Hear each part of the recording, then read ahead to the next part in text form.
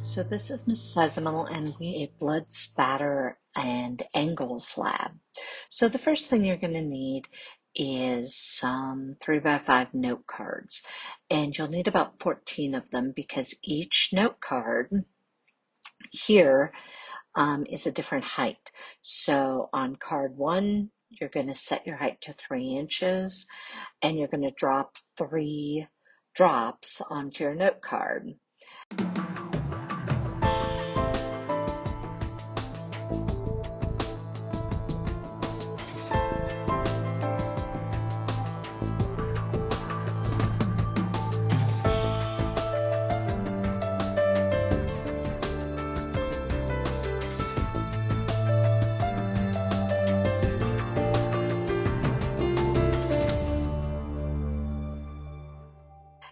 And then you're going to let that dry and then you can find your measurements for it. Well, if you do all 14 cards, you will have to let them sit and dry for a fairly long time, at least a good half hour for them to dry. So while they're drying, you can also be working on the other parts of your lab.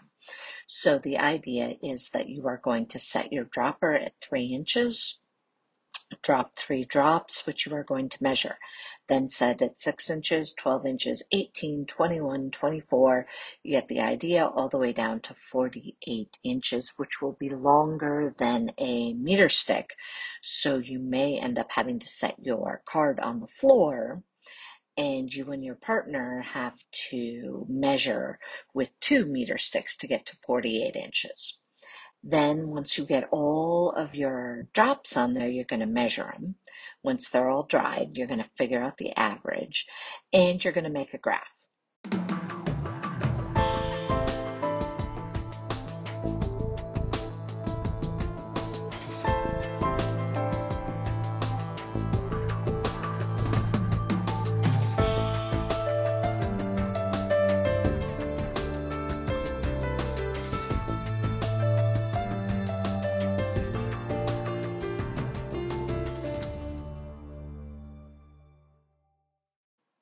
You can either make a graph using Google Sheets or you can make it by hand. Either way, you're going to replace this image here with a picture of your graph. However you choose to do it is fine, but I need a picture of your graph. You're going to answer the questions that go with that part of the lab. Here's the other part of the lab for your walking and your running images. So you're going to lay out a set of three or four pieces of paper that are all taped together, and you're going to drip your uh, synthetic blood as you move across the paper slowly for the walking. And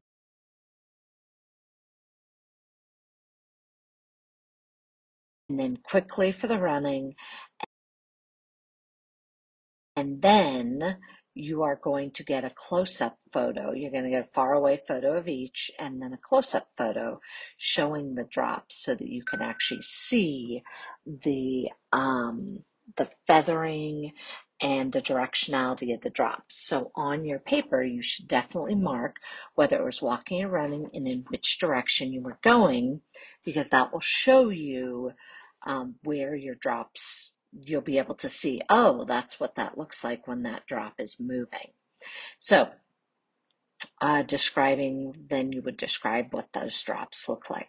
Then you're going to do a low velocity spatter, which is actually the angle at this point. So uh, I'm going to have a template for you that you can tape to the wall or another clipboard and have it set along the back that has the four angles on it. And you're going to lift your uh, clipboard to match the correct angles. And you're going to do three drops from about 12 inches above the paper.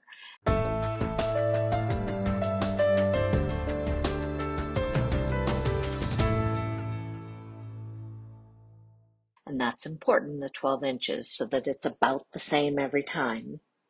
And yes, you might have to have a partner who's holding the clipboard or doing the measuring. Now you're going to put in those diameters once they dry, then you're going to measure those and you're going to put them in and then you're going to figure out your averages as well. And finally, we are going to do impact spatter. So what you're going to do is place a cloth on the wooden block that I've provided for you in our little paint booth and you're going to soak it pretty much all the way through with blood and then you are going to smack it with the plastic well it's not plastic it's a rubberized mallet that we're going to smack it with. And uh, your paper that you put out in front of you should then show uh, the impact spatters Okay, so this is our medium velocity paint spatter booth and our blood spatter booth. And as you can see, it's got sides, a back, and a roof so that the spatter does not get everywhere.